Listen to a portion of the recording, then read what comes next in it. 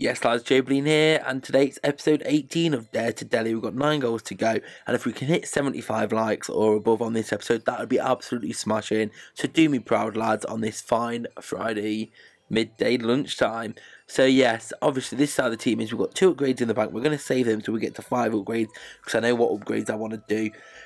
So hopefully we can get them in this episode. Maybe we can get more. Let's see what happens. We come up against this Scottish slash Scottish League team, and it's pretty decent. It's pretty nice. So obviously we've got to be wary for some. It's not full chemistry, which he could easily sort out if he wanted to. Sorry, lads, I was yawning a bit there. But we go into this game after a nervy 30 minutes, not side having any real chances. We finally get put through. Perez and Moscardelli linking up beautifully with a couple of passing one twos overs to each other. Moscardelli putting it 1 0 up, and that's one of the upgrades we were wanting at least in this episode. So two more, and we've got the upgrades we need to go to the next stage. So can we do it in this episode? I'm not sure, but that's an absolutely beautiful turn by Florenzi. Florenzi just keeps the ball, throws it through to Mosca. Mosca in a tight gap, knocks it into that bottom corner again. He scored in the first goal for this episode. So yeah, that's two for him already. The guy then just before half time get a chance. We just failed to make it clear. It's very, very, very sloppy defending.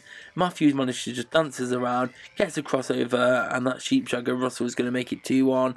Now, it would have been nice if we could have gone in at the half time with a two goal advantage, but instead, due to a bit of sloppy corner defending in the 45th, it's made it 2 1. And then just after half time, we did not come out starting properly because Cahill whips in an absolute peach of a shot, and I cannot be annoyed with that cross come shot there because that is brilliant. And that's pretty much how it went then, because we just went to throw it away. As you can see here, most of the goals we conceded in this, it's absolutely shocking defending on our part, and we need to ready up it. And Kyle with almost an identical goal to his first one, that cross come shot, catching Farman out again, and we go 3 2 down. And we can't do anything, lads. We absolutely threw that away. We went 2 0 up, Mosca get the 2, and then we just threw it away. KO with two brilliant, brilliant cross come shots, and we know we need to sort that out because that's something that's been our problem in all this series now. We've been throwing leads away, we've been underestimating opponents, and we just need to stop it. And we come against Rastaman FC, and he's got a pretty nice team actually. I'm not looking forward to facing them strikers in Hesse and Agbonlahor though, and I Howard's in goal to give him an extra line of defence, so it's going to be a tough game. I like the last game. But once again, as always, we start brightly around the 30 minute mark, knocking over, finding Moreno, and Moreno making it 1 0.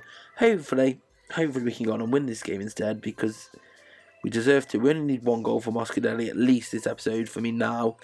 And I just feel Farmers should have done better there from that shot. Farmers letting me down. Farmers annoying me. And it's one of the reasons I want to change the lineup. I know he hasn't been here that long, but he's just annoying me and I want to get it changed. And Mosca just take the shot. It's a big save.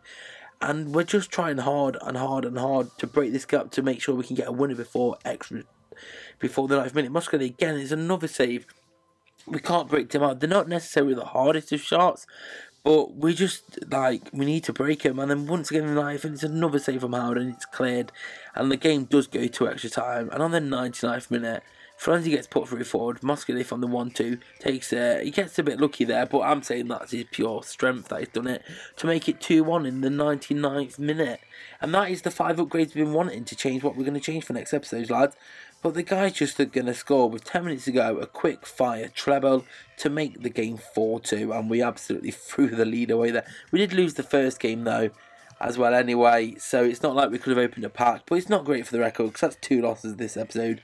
Luckily, it's uh, three upgrades on top of the two upgrades in the bank, so you will be seeing five upgrades made to this squad in the next episode, lads. So I hope you come back on Monday to see that. We've only got what six goals to go for Mosca now. Yeah, we're six goals away from the end. So come meet me on Monday to see if I can score them six in one episode. Maybe I can, maybe I can't. We'll have to see what happens. But leave a like if you enjoyed this. Come follow me on Twitter at JoeBilineHD. I shall be back home from Leeds now, so I'll be able to start getting reviews up for you later on the weekend. And I'll see you all later.